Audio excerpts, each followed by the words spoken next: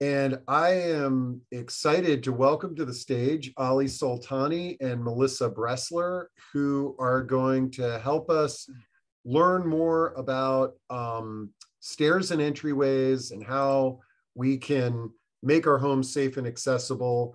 Uh, but we're going to be focusing on stairs and entryways today, but all things are open related to um, uh, safe and accessible homes and universal design, especially with Ali and Melissa. Um, so welcome the two of you. Uh, Ali, I know you're feeling a little under the weather today, so I'm glad you're joining us for, for the beginning. Um, uh, before we dive into this topic, let's get to know the two of you a little bit better. Um, Ali, since you're not feeling too well, I'll start with you and then you can dive behind the curtain there. Good morning, Steve and uh, everybody. Uh, my name is Ali Soltani. Uh, I am one of the project manager at Handy Pro. And uh, as uh, Steve uh, talked about, we do home accessibility such as ramp, stair lifts, any kind of accessibility, small or big, from grab bars or renovating the entire home. we have the knowledge. I myself, I'm a civil engineer, and I have um, um, certifications to understand people with disability and uh, we we have other um, professions on our team, such as Melissa, that she's an occupational therapist, and she's been in occupational therapist uh, field for quite some times. And uh, uh, we were lucky that she joined our team, and uh, she oversees everything and designed uh, homes and you know equipments for our clients, and also she's she's outreaching to our network. One of our goals is that Steve help us to get to that goal is to educate the market, educate the uh, the people that they need this. We want them to not to be scared to ask for what what they need and what it is. So we don't charge anything for estimate. So you can just do a favor to yourself or to your clients. We can uh, give a very comprehensive report what they need and um, excuse me and uh, then we'll give you the cost and we also can give you a roadmap to see how we can do this. As, as Steve mentioned, um, I don't feel good today, so I'll pass and have Melissa to continue the presentation so you don't have to hear my thick voice and my coughing all day. All day. Well, Thanks, we Steve. Hope, yeah, we hope you get better, Ali, and and thanks so much. And uh, Melissa, I'll, I'll, I'll move to you. Tell us a little bit about your background and what led you to your current uh, role. Yeah, sure. Thanks, Steve, and thanks everyone for taking the time to be here today. Uh, so my name is Melissa Bressler. I have over 10 years of experience working as an occupational therapist in uh, an outpatient center in Washington, D.C. I'm licensed in Maryland, Washington, D.C., and New York. Um, I've had the you know fortunate experience of being a uh, a consumer of these accessibility products um, and as a part-time caretaker uh, for my disabled sister, um, as well as my aging parents, and um, also as a health professional. So I've kind of seen it from all different sides. I'm really happy to happy to be working with our home modification team to enable individuals to maintain their independence and function in our homes. Um, you know, our main purpose is to improve a person's safety, accessibility, and independence. We want you to feel like your home is, you know, a comfortable place again. Um, uh, Excellent. Now, before we dive into the discussion, um, Ali mentioned it, you're an occupational therapist. And I think um, most of us in the audience think of occupational therapists in this clinic like setting, a rehab center that has maybe like a, a car parked in the, the middle and a, uh, couple of stairs and a kitchen that doesn't look anything like the kitchen in our home. And the clients get in their car, come to this artificial setting, and they practice their exercises. Um, I think that it's really a, a great trend uh, to see occupational therapists in this setting helping clients with that rehab, but modifying our environments so that you can function better. Um, that must have did you feel that this was kind of a, a, an interesting or what did your what did your colleagues say when it's like hey i'm going to uh to do this did they this is like wow you're outside of a center yeah i mean it's it's pretty amazing and it's great to you know individuals would come in and we would do therapy in these simulated situations but then we would always ask oh you know how to go? Did you try this at home? What was different? Oh bring in a video. Uh, but now it's nice to be you know in the home working in um, in their own environment because um, there's there's nothing that's that's like that. And it's it's great to work uh, you know with a team. Uh, we all kind of bring uh, our own expertise and you know professional uh, opinions and advice to the table. And uh, you know two heads are always better than one. And it's it's it's really it's really been rewarding to to be a part of the the home modification team here.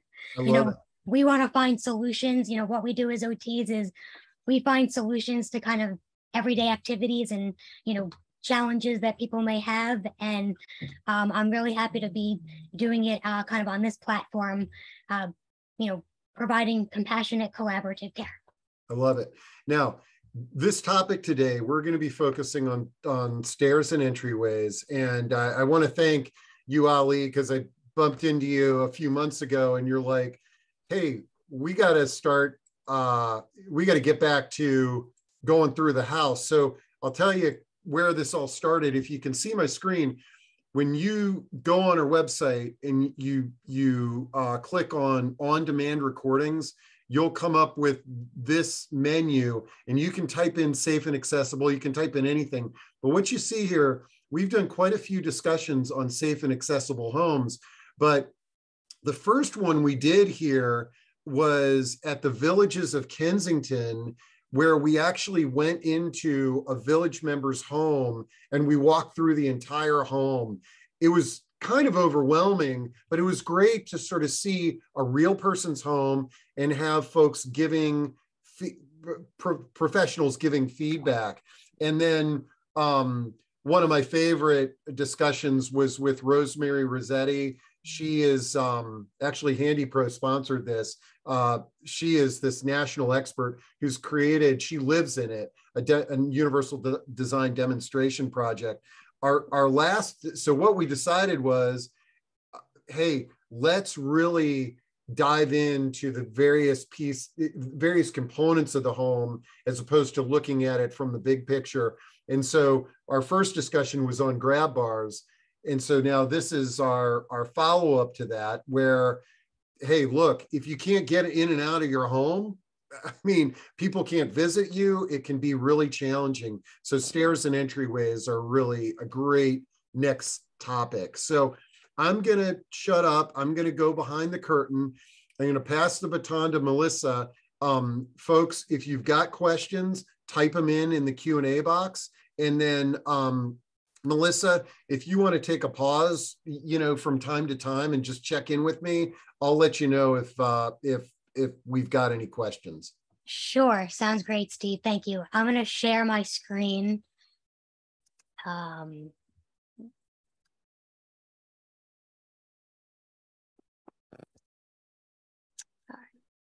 we're good as far as uh, the first slide.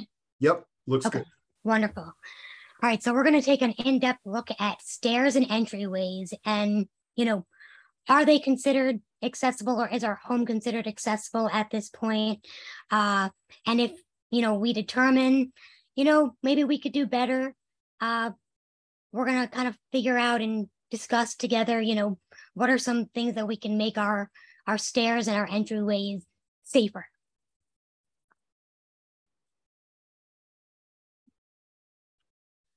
So this was just a little bit about myself as I uh, explained before. So I'm just gonna breeze by that. If anyone has any questions uh, later on, feel free about some of these certifications. Um, all right, so we're gonna talk a little bit today about, you know, are our homes today considered safe and accessible? What is a home modification and how do they help us stay safe? We're going to look at, again, entryways and stairs. We're going to focus on that part of the home. And what do they have to do with falls? You know, how many falls are happening, you know, uh, that are involving stairs or entryways related to other types of falls that may happen in or out of the home. We're going to talk about how home modifications and accessibility equipment uh, can be present and help improve our safety in our home. And then how do we prevent falls from happening on stairways? Because we know it all happens.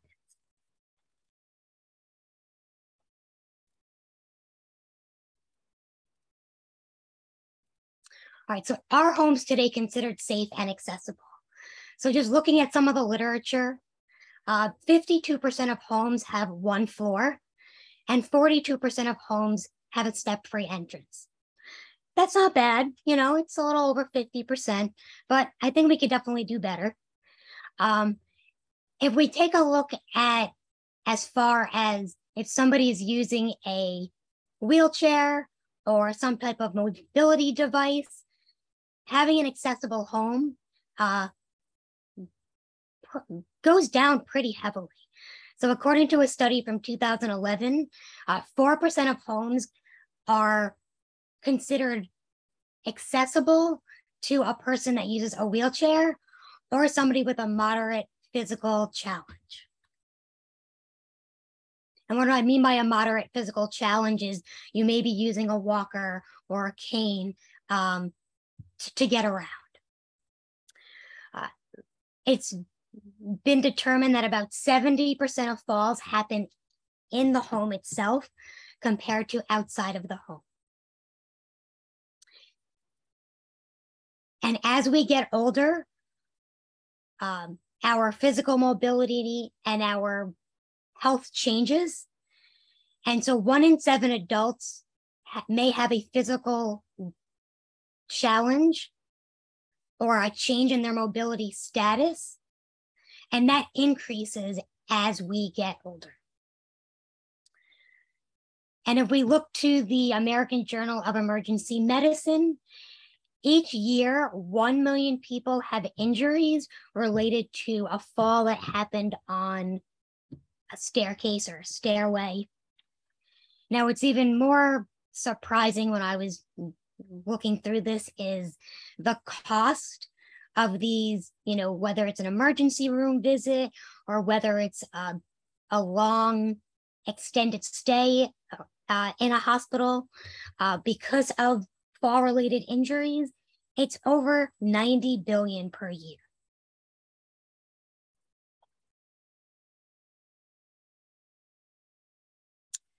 So one way to kind of, you know, make ourselves in general safe at home is through home modifications.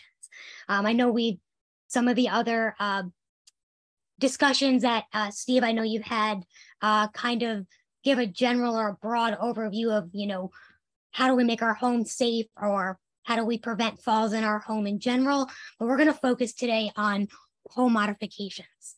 So a home modification is a small or large change made to a home with the goal of improving accessibility, safety, and independence. And you'll kind of see that throughout uh, the presentation. Those three items are kind of your, you know, bread and butter, your crux of what a home modification is. Home modifications also increase visitability to a home. Visibility is kind of this term or this definition that makes your home kind of visitable or someone's able to access your home, regardless of if they are walking through your front door, if they are wheeling through your front, front door, if they're rolling through your front door, whatever it may be, your home is able to be accessed by, by anybody, uh, young and old. So they have these visit, visitable criteria that usually refers to that at least one entryway doesn't have any steps, that you have at least a 32 inch doorway clearance and that there's one bathroom on the main floor or the first floor. So you don't have to go up or down any steps to get to a bathroom.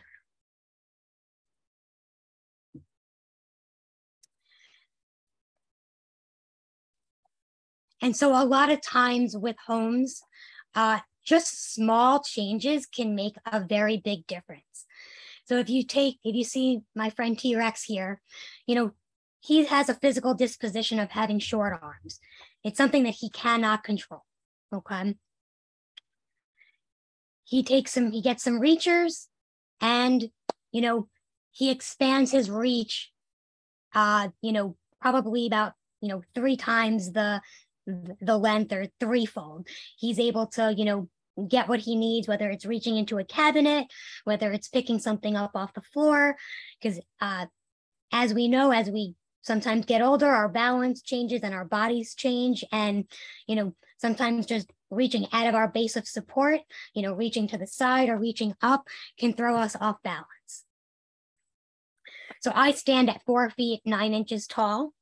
Um, I make small modifications every day that, you know, maybe I don't even think of, or that we don't really even think that we're doing it, just become like common and a routine. Uh, so as far as like my entryway, I have to modify my, you know, peephole if I'm looking out, I uh, want to see, you know, who's knocking at the door. Or a lot of times um, we have our sliding door in our back and we have an extra security feature and it's always at the top. Um, so those are just some small changes or modifications that, you know, I've made. I've put one actually at the bottom. So I just have to step on it instead of having it on the sliding door up at the top.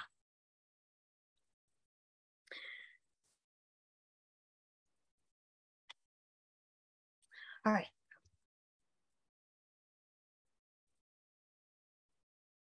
So let's talk about how do stairways and entryways, what do they have to do with falls? So if you're thinking about, you know, about one in five adults have a fall each year. Uh, if we look at staircase related injuries or falls, it's 1 million people each year. Some risk factors to think about as far as, you know, what's going to increase your risk of falling on the stairs, it's gender, age, and physical disposition. So females are more likely to have an injury from a fall than males. Age, children under the age of four years old and adults over the age of 65 are more likely to have a stair related injury. And these injuries are widespread.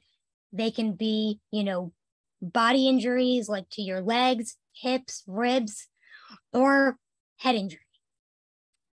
Uh, breaks, fractures, sprains, and strains are the most common injuries for a stair related injury among older adults.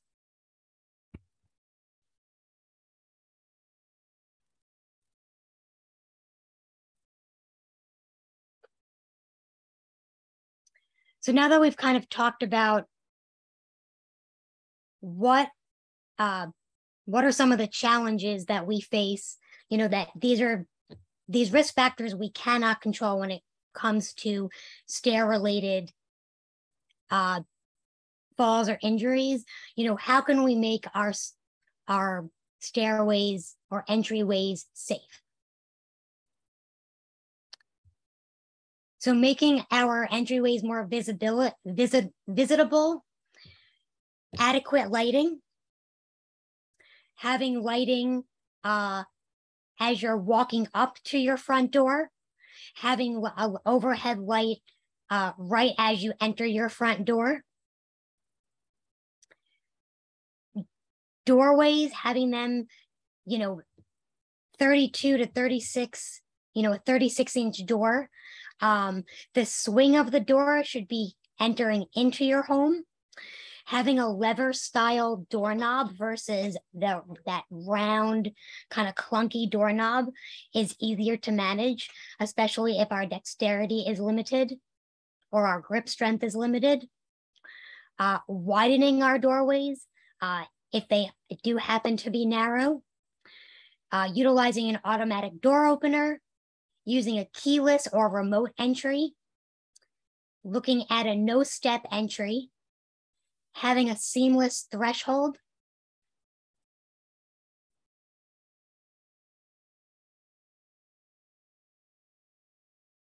making sure that our pathways are clear, minimizing thick carpet, and removing or securing uh, area rugs.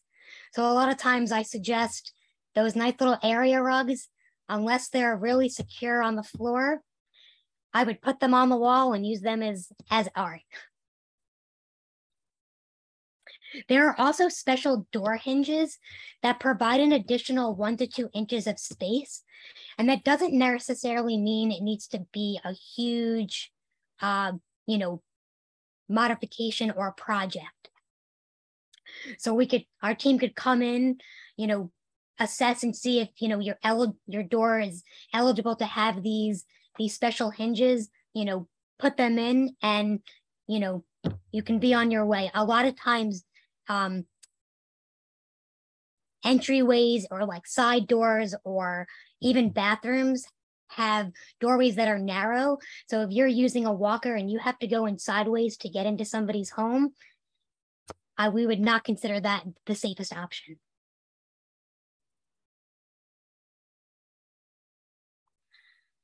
All right, so as far as stairs, how do we make those as safe as possible? Having a closed riser, so the uh, the rectangular wooden uh, item in the in the picture here on the right hand side. A lot of times you may see it's kind of trendy to have it open. Uh, it's safer to have it closed, so nothing slipping through, even for your pets, cats, dogs, if they're walking up the steps. Uh, making sure that you have non-slip rubber treads on the kind of platform or where you're actually putting your foot. That's what we, we would call a tread. Uh, if these stairs are outside, making sure that it's positioned where that water or snow when it's melting can kind of drain off. An optimal step has a width of about 36 inches and a rise of about seven inches. All right, so next I'm going to go into a little bit about what are some accessibility items and modification projects that we've done in the past that can improve one's safety as far as steps and entryways. Uh, I guess I'll pause here if anyone has any questions before I move forward. Great. Uh, this is good stuff. Um, let's see. Uh, well, I want to I want to make note. I want to let everybody kind of see Louis Tenenbaum's comment in chat. Um, and Louis is a uh, um, a pioneer in this area of, of universal design. And, and I just want everybody in the back of their minds to think about these improvements that we're talking about today but how can we get people to make these improvements before they need it? Because a lot of times it's when we want to make these improvements is when we're in the emergency room at the hospital and we know we got to go home to our house that's not accessible. Mm-hmm. um, so so that's one thing that i just want everybody to think about and if you've got ideas throw them into chat.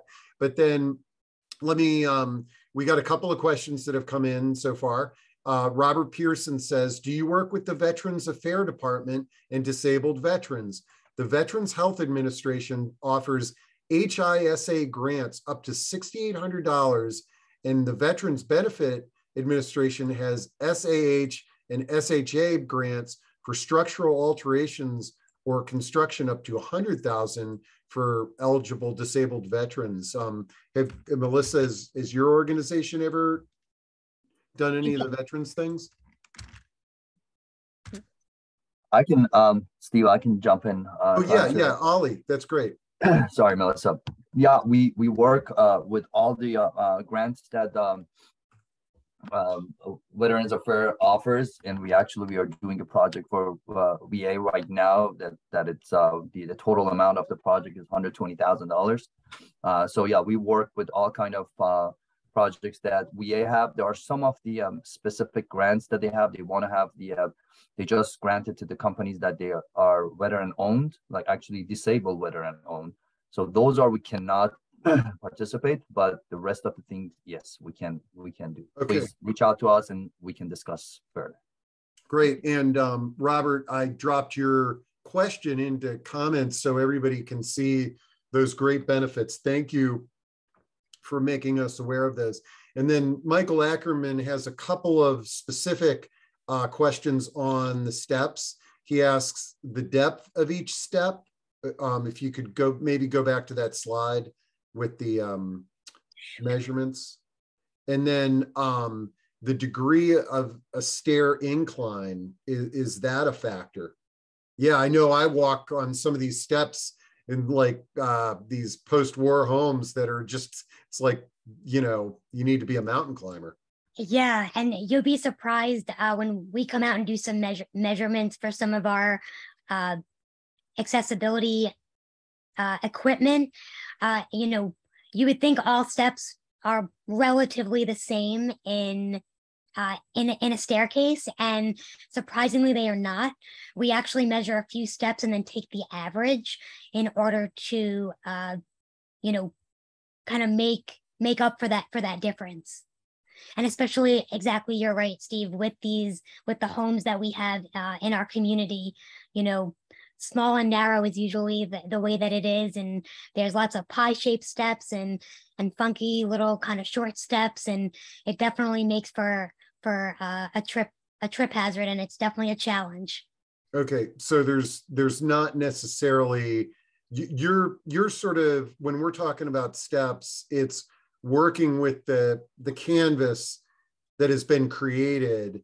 I guess the alternative where sort of specific measurements and degrees are going to be a real factor would be like a new construction where we're going to make this as optimal as possible. Right right. Okay. we can also come in and you know um remove all your current steps and you know just create a whole new uh, stairway or or platform. Um, as you'll see in uh, one of the the next slides we we had to do that to accommodate um, the, this client's uh, staircase in okay. order to make it safe for them. Cool. But yeah we can do we can do both. We have to um, sometimes we can work with what's existing and do small modifications and other times we need to kind of remove and create something new that's going to be optimal and you know safer.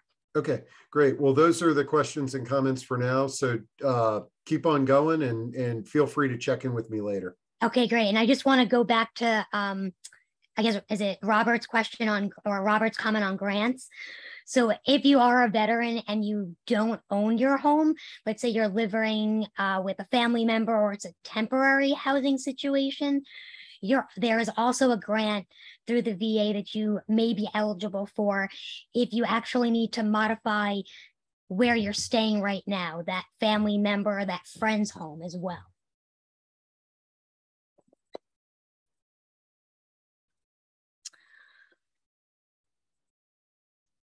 All right, so keeping in, in mind what a home modification is, we're looking at safety, independence, and accessibility. So for this client here, they needed a curved stair lift in order for them to access their full bathroom and bedroom, which were both upstairs. Uh, while this staircase right here looks straight, uh, you can see that it has this one little curve here by the banister. So that essentially it would make it a, a curved st- uh, stair.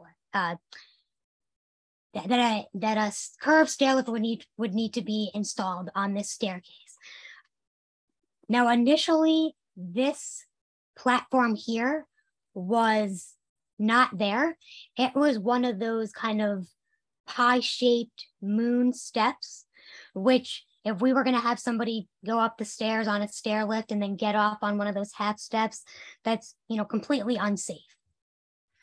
Now, the client did not have the ability to pay out of pocket for a curved stair lift.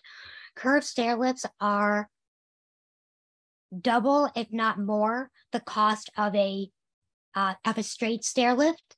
It's a custom rail that is made to the individual staircase.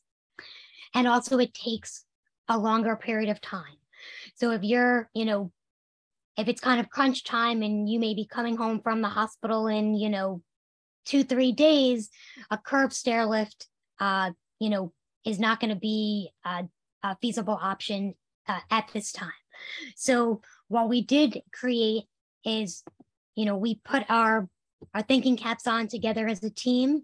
We came up with creating this platform, which is flush with the hallway area. And so then we were able to put in a straight stair lift, which saved the individual about $8,000. And we added this grab bar here. So when they're able to exit or get off the chair or enter the chair from upstairs, they can use this grab bar for support and use it as they get into the hallway area.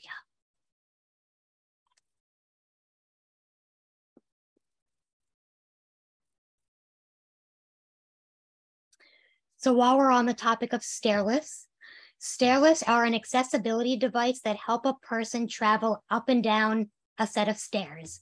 Uh, you're in a seated position. Many of us think the use of a stairlift is for, you know, our older adults. They can be used by children as well. Stairlifts are fitted with a seatbelt. Uh, similar to a seatbelt uh, that you have in the back seat of a car uh, in the middle. Uh, it doesn't have an over the shoulder strap, but it has a strap around your waist. There is an option to put a harness as well if you don't have the um, upper body strength or support. Stairlifts can be installed indoors or outdoors and in a number of different types of stairways. So if you see here in the picture, this stair lift is installed on carpet. It can be installed on carpet, on wood. Uh, if we're outside, it can be installed into, uh, you know, concrete or pavers. It can stair lifts can be installed on straight stairways as well as curved stairways. And it doesn't just have to be one curve, as you'll see as we go on. You can have multiple twists and turns uh, in a staircase. Now, typically when we're doing our measurements, when we're evaluating a staircase and we're uh, doing some measurements, we typically recommend uh, putting in a stair lift if a staircase is at, is 40 or 24 inches or wider.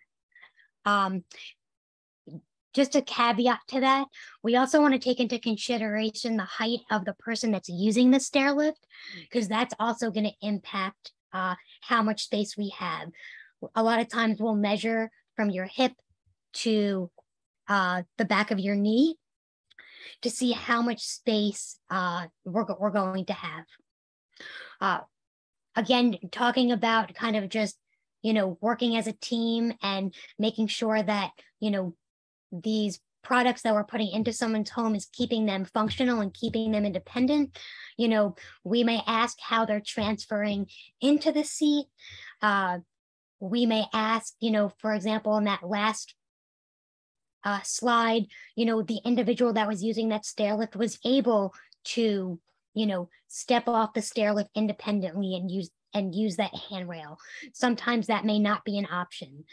So sometimes taking into consideration the landing area, you know, what's going on at the top of the staircase versus and the bottom of the staircase, you know, do we need to accommodate room for somebody that is assisting the individual getting off and on the steps?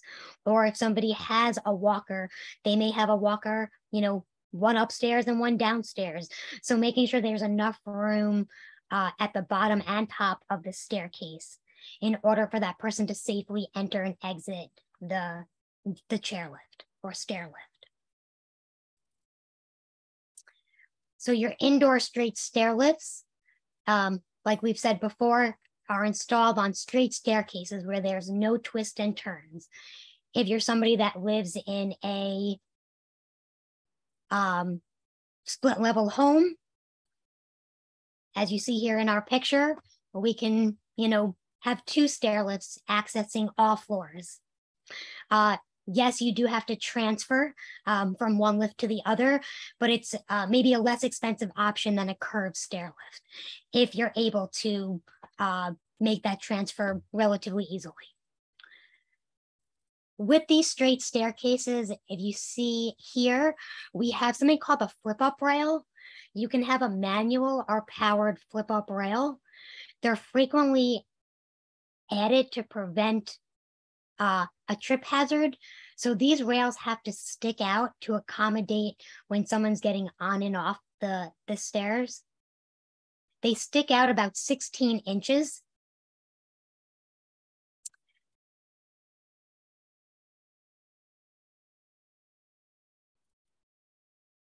And then as far as the, the amount of space the rail is taking up on your staircase, it's about three inches from the wall. And that is for straight stair lifts, whether it's indoors or outdoors. These are just some common uh, kind of standards. Stair lifts are able to be installed on most straight staircases. So this actually makes for a popular donated item. We have a donation program where if someone donates their stair lift to us, we will pass it on to the next home without the that next home paying for the cost of the lift itself. Um, it would just be a payment for uh, you know our labor and and workmanship.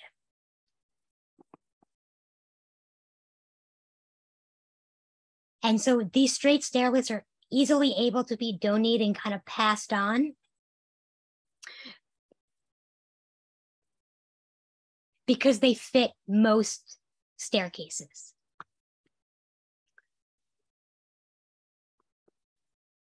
So here's a video of a of the and I'll play it again. So this is just a video of an indoor straight stair lift with a flip up rail. This is the powered flip up rail. I'll do it one more time just for good measure. So the, this flip up rail, we do recommend most of the time, uh, especially if the bottom of your staircase or even uh, has uh, a doorway or kind of an, an area that maybe has some heavy traffic. Um, so we usually almost exclusively recommend having this flip up rail. It is an additional feature, so that means it is an additional cost. Uh, if a person does not want to have this flip up rail, um, a lot of times we'll recommend putting some type of large stationary item like a plant, um, some type of armchair. Uh, I think we've had someone use a totem pole or a, a tiki tiki totem pole before, um, some type of decorative element. Because as you see here, this, in order for the chair to come down uh, and for someone to get on and off the chair, this rail needs to, this rail is extended beyond the staircase, roughly about 16 inches. And if you're trying to get to this room or you have a door there, you don't want to always have that blocked. So now we have our indoor curved stair lifts. Uh, for these, we take a we use a special 3D camera with special software to create a custom rail with multiple turns. And if the power goes out for any of these stair lifts, you have approximately eight rounds, um, eight round trips uh, where the stair lift will still be able to, to move even if there's no power.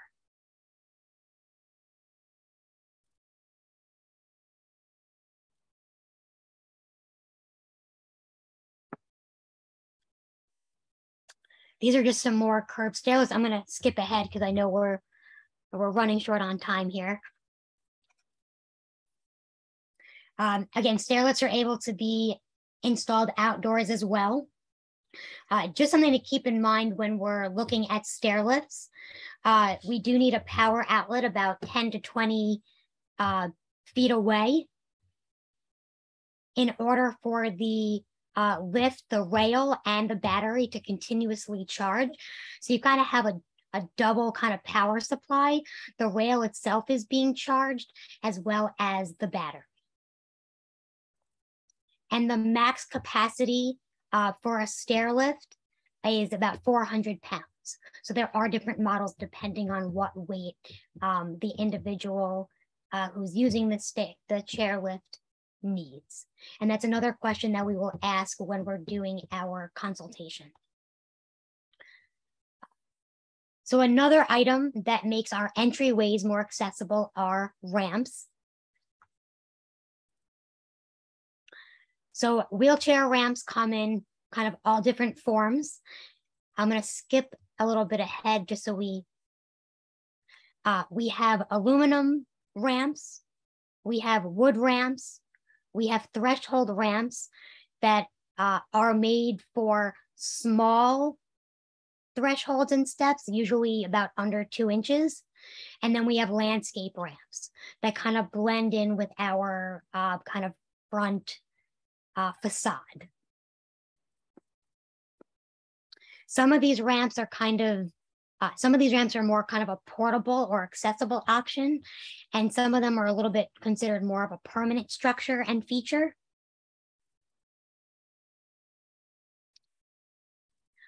If a ramp is not an option, then a vertical platform lift a lot of times is the right option. Uh, Vertical platform lifts or VPLs are also known as porch lifts. They travel about one level or about 10 to 14 feet in height. Usually they take up less room than a ramp.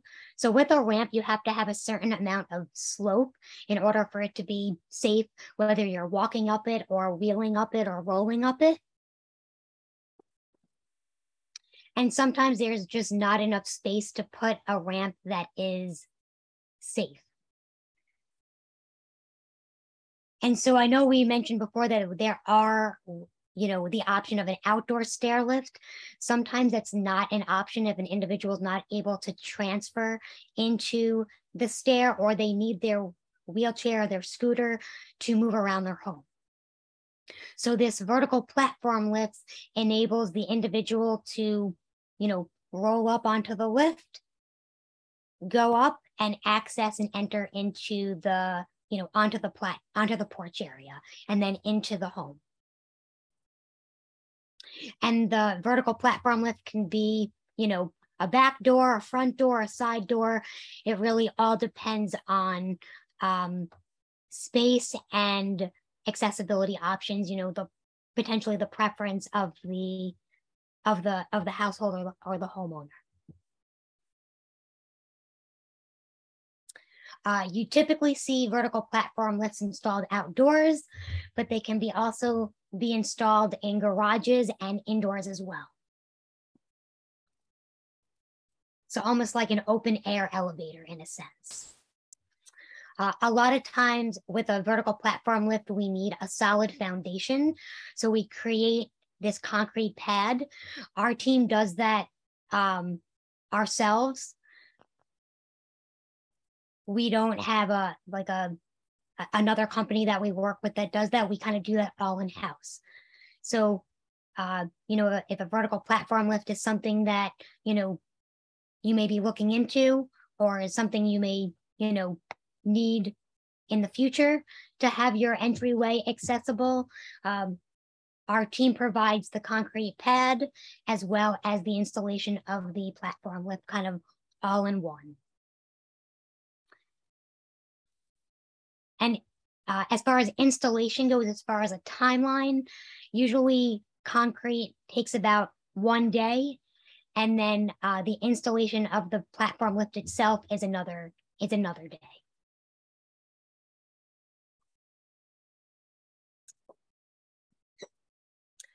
Now, we can't talk about stairs and entryways without talking about the presence of a handrail. A handrail is something that you grab onto when you're going up or down the steps. Um, we probably, you know, usually see it in, you know, most commercial commercial areas.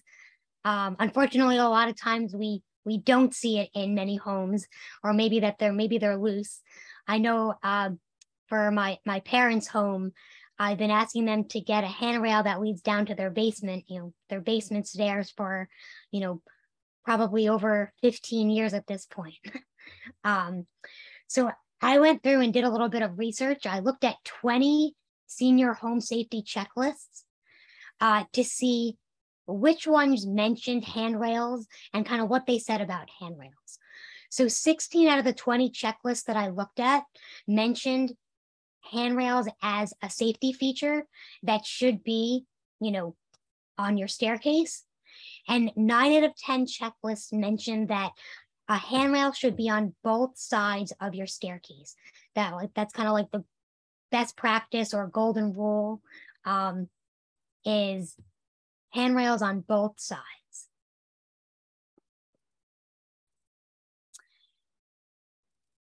And uh, just this, I thought this was kind of an interesting fact uh, from a study from a study that was done in 2000, it found that 91% of young adults and 57% of older adults kind of recognized that they, you know, weren't using a handrail, uh, maybe were wearing improper shoes when they were, you know, negotiating, you know, walking up and down uh, their set of staircases.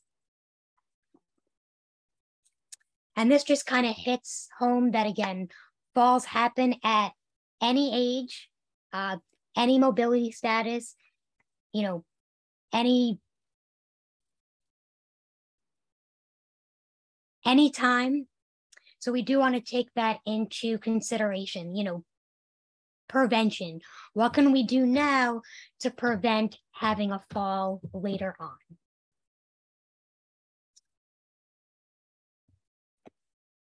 Uh, handrails can be wall mounted. They can also be um, secured into the ground as well. So there are iron rails, there are wooden rails, there's a combination of iron and wood. It mostly depends on the uh, individual's preference.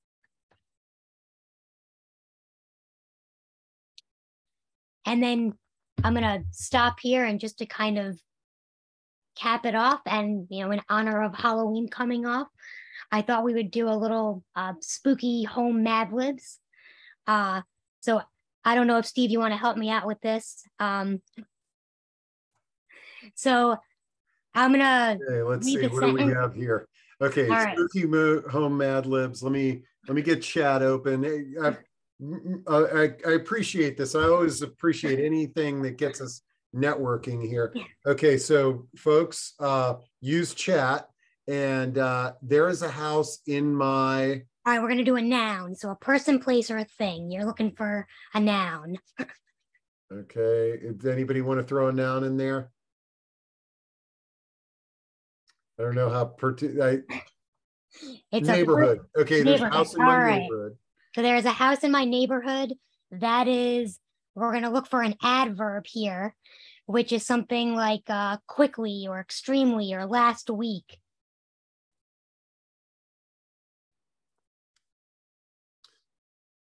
All right. Testing your English skills here, English grammar, right? Haunting, hauntingly. Hauntingly, great. All right. So there is a house in my neighborhood that is hauntingly haunted. It's the old. We're looking for a proper noun or last name.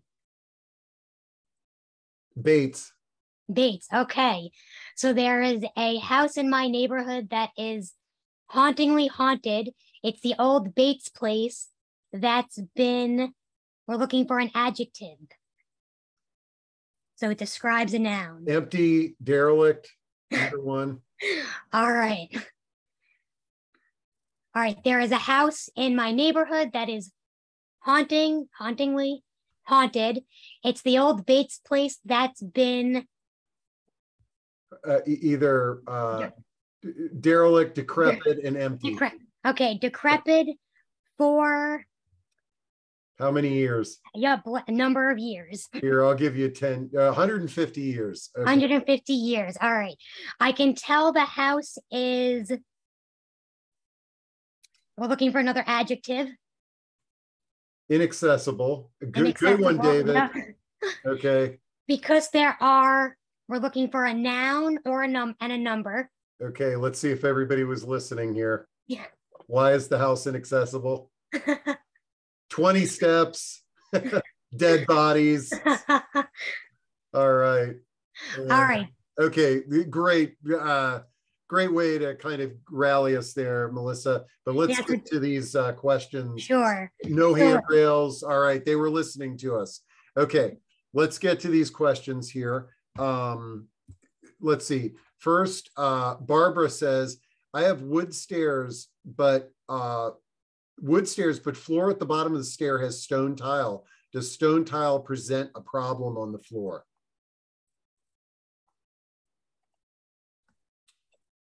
Um, so I would say no, uh, as far as installation of a, of a stair lift or just in general. Well, I think just uh, probably just in, yeah, I mean, general. probably she's asking about the stair lifts because I think that's when she asked the question. But I also Okay. sort of think that tile, you know, obviously, um, like wood floors, present less of a tripping and falling hazard. Yeah. But depending on your grout line Right. and and the texture of that tile, uh, could make a big difference.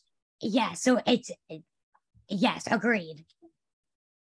Um, okay, let me go to chat because there's some great things going on here. Because also if you have, you know, those, you know, you let's say you have a small area that's tile and then you have a transition to maybe some type of other flooring that could cause uh, some safety concerns.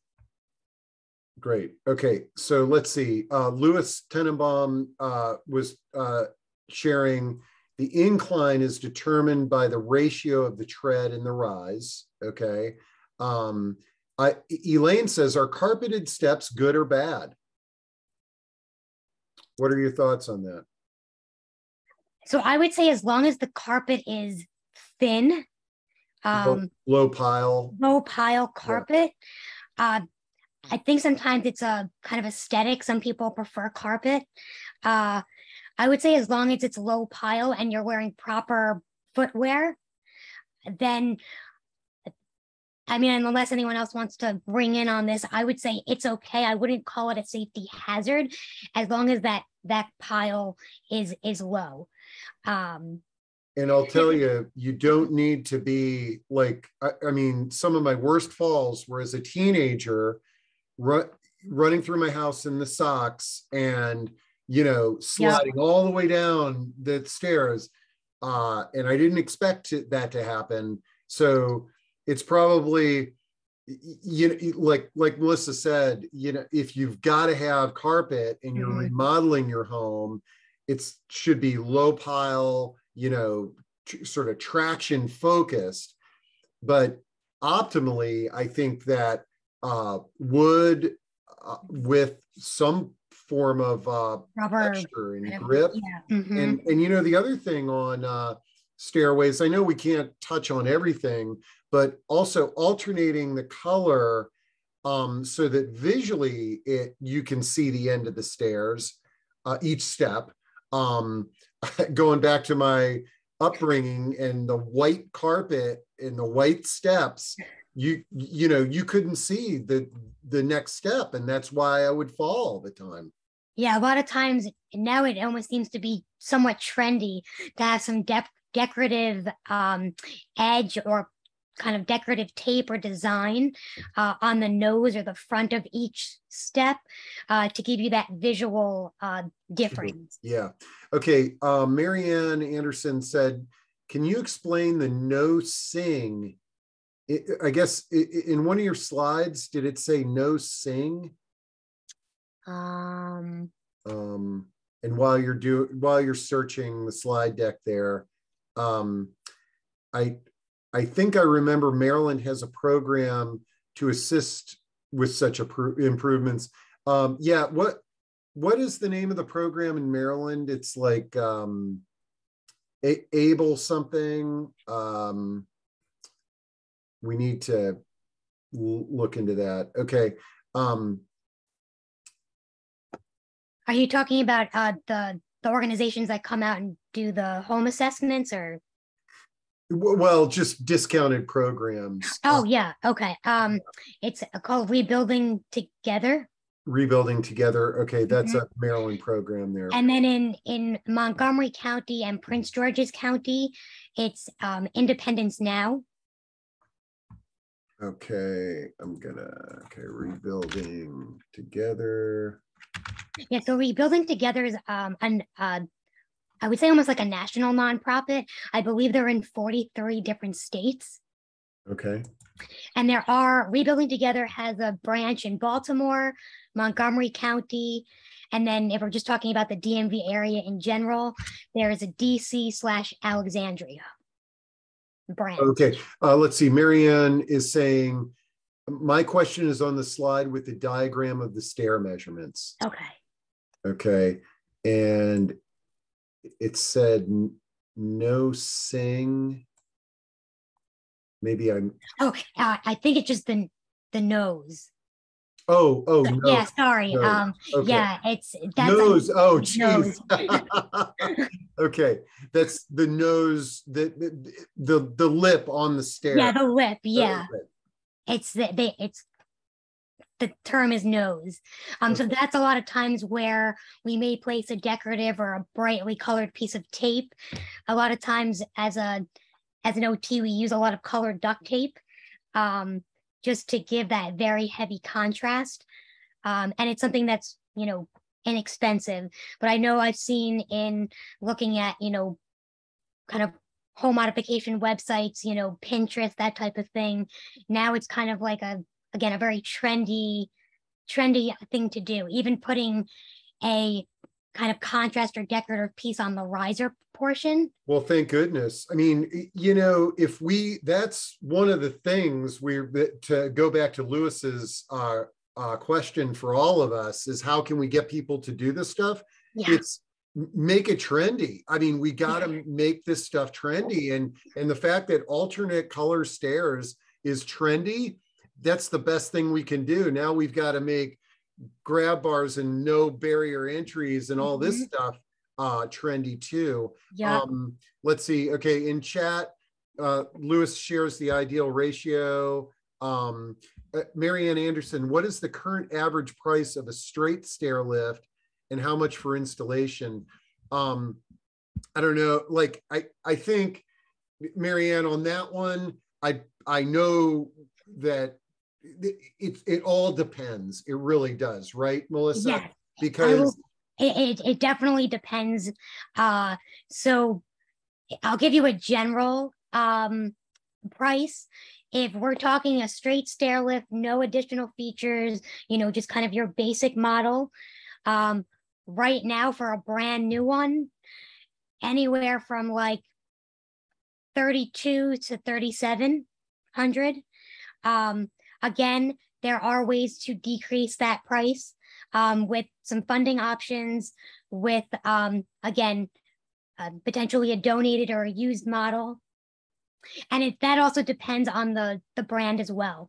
okay. We do work with an, a few different um, brands or manufacturers, so that also impacts on the cost as well. Okay, cool. Um, Louis comments, a ceiling lift could help with transfer from one stair glide to another. Elaine says, can the flip up rail be flipped down while the person is sitting in the chair while coming down?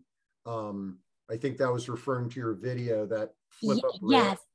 So um so with the manual flip up rail, uh another individual would need to flip the like like take your hand and flip it down in order for that person that's using the lift to to to come down the steps. So if um but with a powered flip up rail that can be accessed from you know top of the staircase or bottom of the staircase. Okay. But that's an, again another consideration when you're trying to figure out are you going with a manual flip up rail or a powered flip up rail? You know, you're going to need kind of an, an extra body or another set of hands in or unless you're going to leave it down in order to, you know, uh to, to get that that chair from the top of the stairs to the bottom of the stairs. Got it. Um, let's see. R. McKeever asks, can you show the screen with the landscape ramp again? Sure.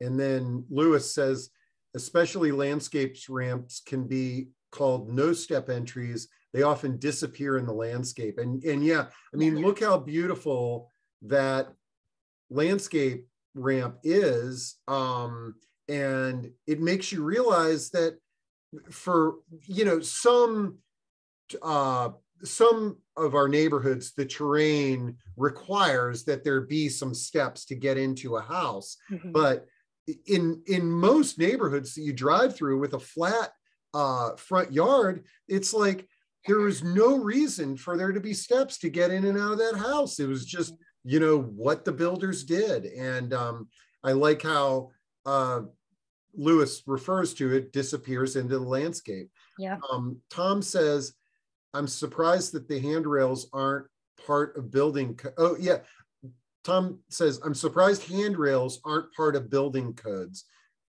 I, I guess in some cases, are handrails, they are part of a building code or are they, Melissa? Um, so I know for commercial use, uh, there are uh, a number of different code codes for handrails.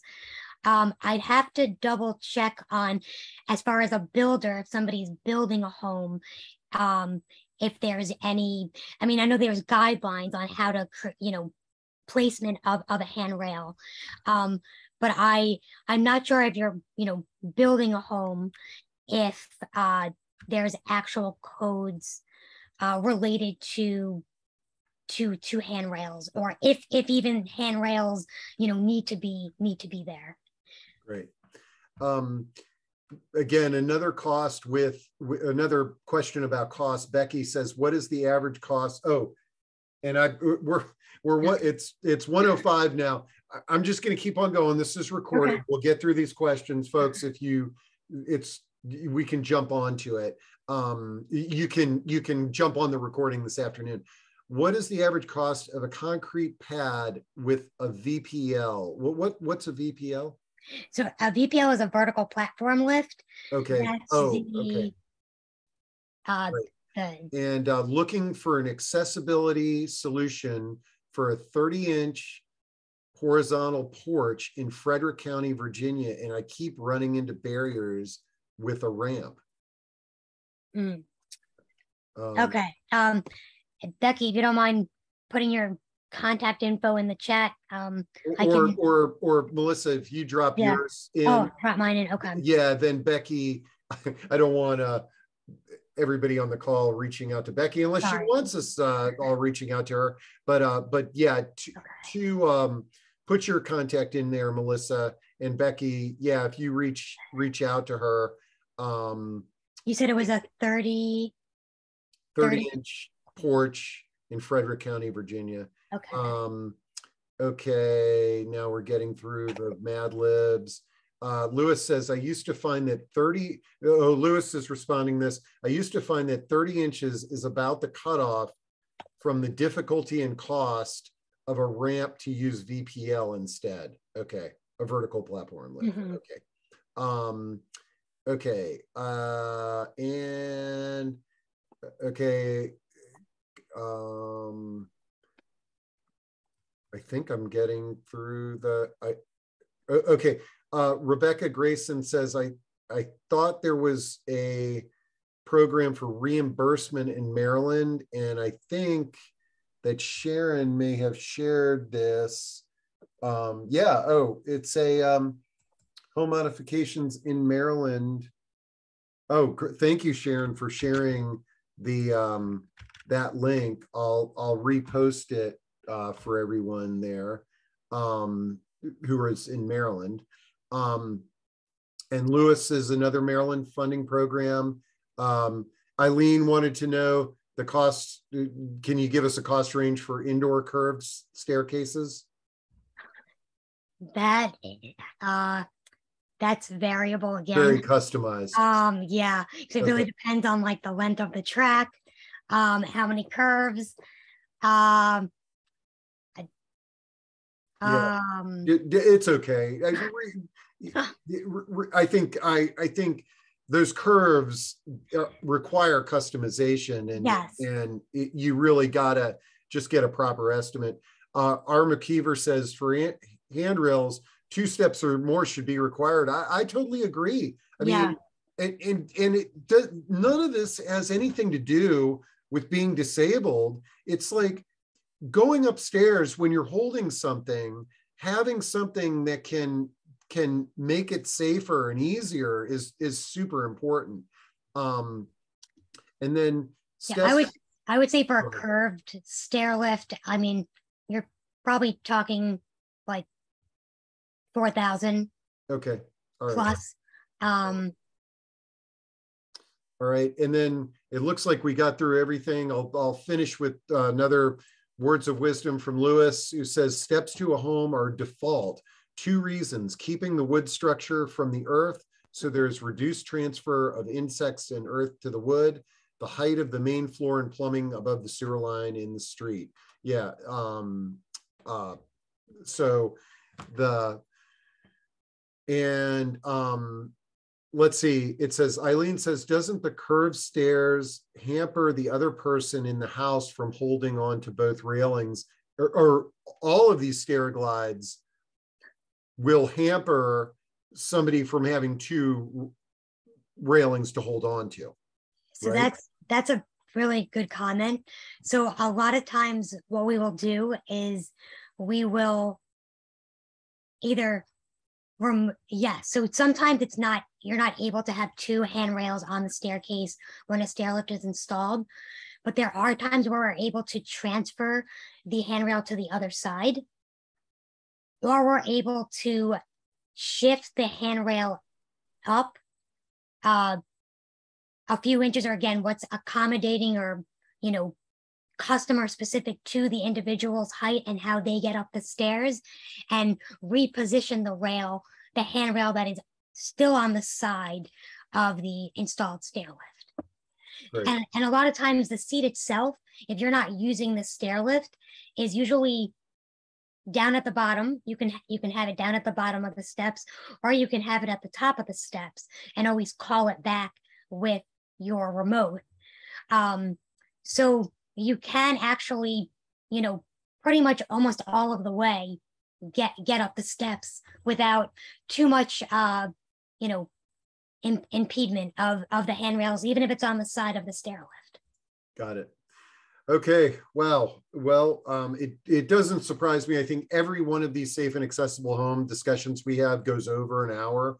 Um, thank you, uh, Melissa, but thank you to our audience. I mean, these questions are just fantastic. And this is what I love. I mean, is the is the engaging discussion and getting to the the topics and, and questions that you all are interested in. So um, uh, thanks a lot. And um, uh, I'm glad you you dropped your your info in there. Um, Melissa, if you if you can, because I know somebody's going to ask if if you can PDF your PowerPoint and send it to me, I'll put that on the same page as the uh, the recording of this.